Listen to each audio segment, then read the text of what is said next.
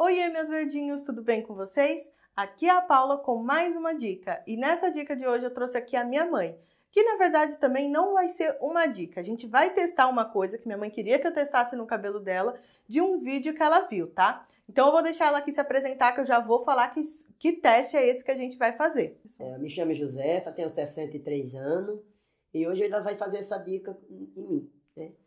É um teste, vamos testar. É uma dica aí que tá bombando, todo mundo tá utilizando, que é alisar o cabelo com sabonete. Vocês já viram essa dica? Já sabe se funciona ou não? Então, a gente vai descobrir agora se funciona. A senhora já utilizou alguma vez sabonete, mãe, para lavar o cabelo? Não, nunca. Não. Não, a senhora nunca utilizou, né, não, mãe? Nunca. É, como é? Utilizei. A senhora nunca utilizou? Então, mas homem normalmente tem a mania de utilizar, né?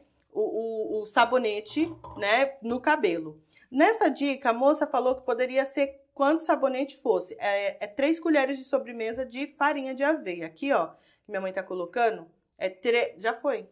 Três colheres de sobremesa de farinha de aveia ou aveia nos flocos grossos, tá?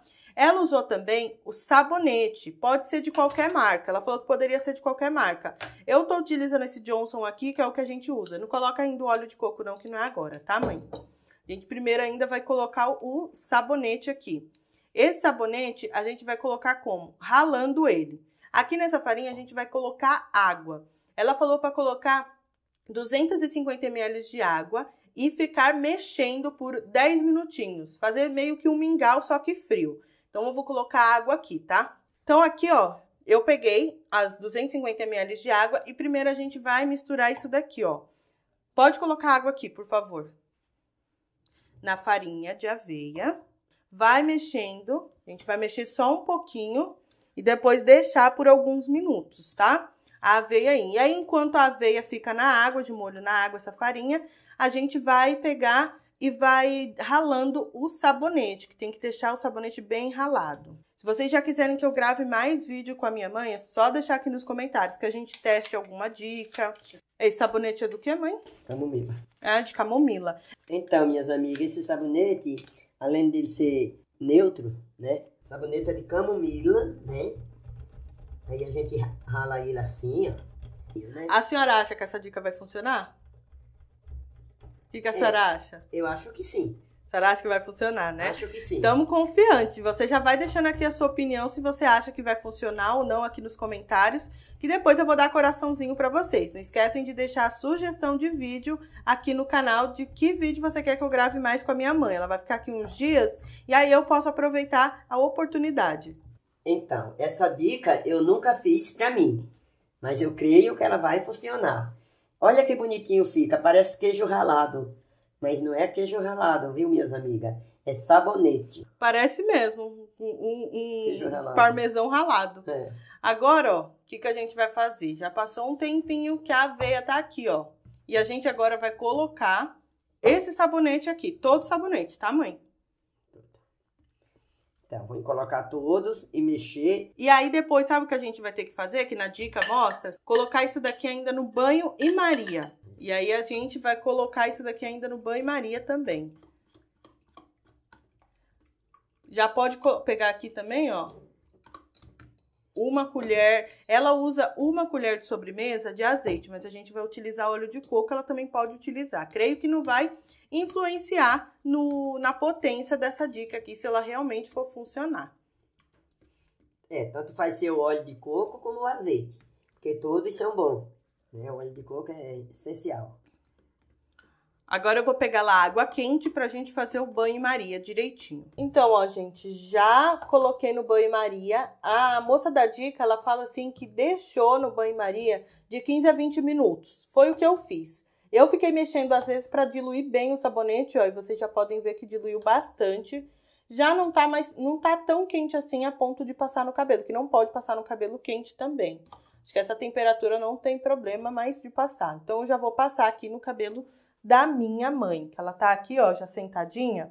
O cabelo dela ela lavou hoje. Ela lavou o cabelo dela hoje, tá? Ela chegou aqui em casa e já lavou o cabelo. Então tem que estar o cabelo lavado. Tá indo um pouco até úmido. Então eu já vou começar a aplicar. Primeiro, eu vou separar as mechas do cabelo, que que vai passar por mecha. Vou dividir aqui em três partes o cabelo dela.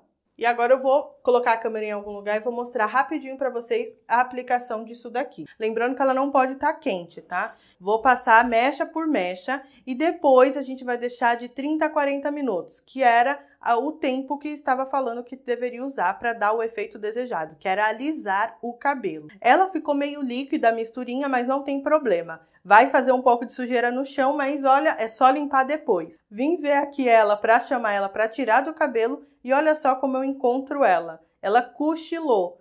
Se essa misturinha não alisar, mas pelo menos relaxou o corpo dela. Acho que foi o sabonete que era de camomila. Então, ó, já fica o aviso. Se for utilizar o sabonete de camomila, deita porque você provavelmente vai dormir. Então, meus verdinhos, já tirei o negócio do cabelo da minha mãe. Eu vou mostrar pra vocês como ficou, tá? Como eu falei pra vocês, a gente tirou só com água porque o cabelo já estava limpo, não precisava lavar. Quando for passar, tem que passar limpo, se vocês quiserem testar. E agora eu vou mostrar.